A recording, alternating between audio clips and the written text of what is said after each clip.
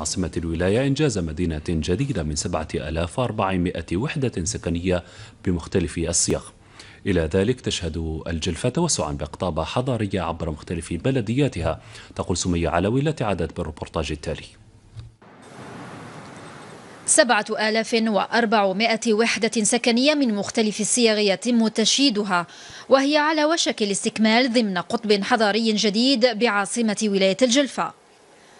الأشغال تتم بيد عاملة محلية محضة إذ يمكن أن نعتبر هذا القطب الجديد في بالربيح مدينة جديدة بها جميع المرافق التي يحتاجها المواطن. يحتوي هذا القطب على كل مرافق ضرورية من ثانوية آه، مدارس متوسطات محل تكوين آه، مسجد.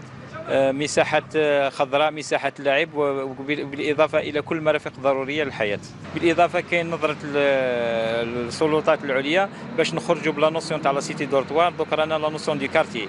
دوك المواطن في الحي تاعو يوجد كل المرافق ومن بين الوحدات المنجزة 800 سكن ضمن صيغة عدل 2013 من المقرر تسليمها نهاية هذا العام.